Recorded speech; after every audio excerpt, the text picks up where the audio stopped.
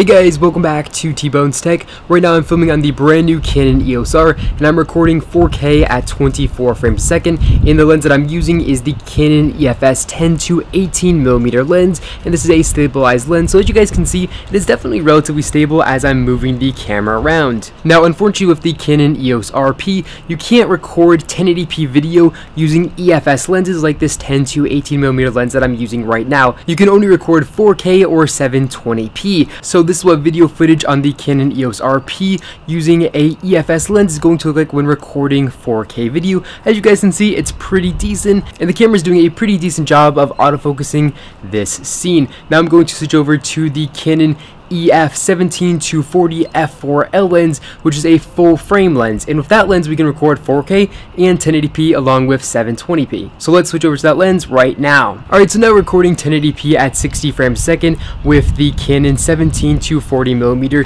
EF lens and when filming in 1080p on the EOS RP with an EF lens we're going to get a full frame image quality so as you guys can see this is a very wide lens here at 17 millimeters there isn't going to be a crop factor or anything like that. And if I zoom in here again when filming in 1080p the depth of field the background is going to be absolutely beautiful blurred at f4. This Canon EOS RP is going to be absolutely fantastic for vlogging with the ability to have really beautiful depth of fields and really separate yourself from your backgrounds. You're going to be able to get some absolutely amazing shots. And that's because when recording 1080p, we're going to be taking advantage of the full frame sensor. There's not going to be a crop factor or anything like that. But now it's time to switch over to 4K and give you guys a good idea of what that's going to look like.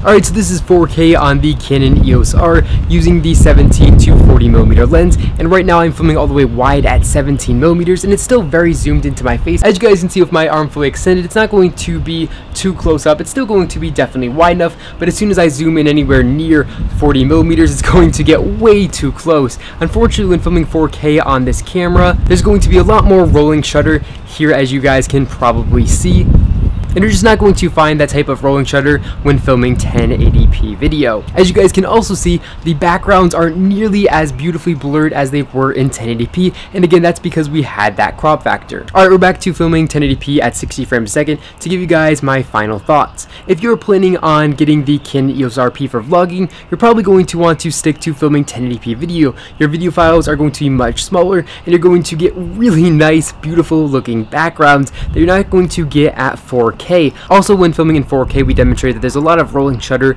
at 4K, and that's going to be quite nauseating for some viewers unless you keep your camera very, very still and you really don't have any fast movement or anything like that. Again, I'm shaking the camera to you guys 1080p here, and there's really not a lot of rolling shutter at all, and it's going to be much more pleasing for your viewers. Before this Canon EOS RP came along, I always thought that using the Canon 6D Mark II for vlogging was going to be the absolute best way to vlog. But this EOS RP is cheaper and way lighter and much better for vlogging. So now I think it's safe to say the Canon EOS RP is now my favorite camera for vlogging. Alright, I'm back in the studio and something that I forgot to mention is that when recording 4K video, you're going to be stuck with Canon's Contrast AF. It's not going to be nearly as good as Canon's Dual Pixel autofocus and I'm going to kind of give you a demonstration of that right now. As you guys can see, we're filming in 4K, so we're using Contrast Detect. And as you can see here, the camera is hunting for focus.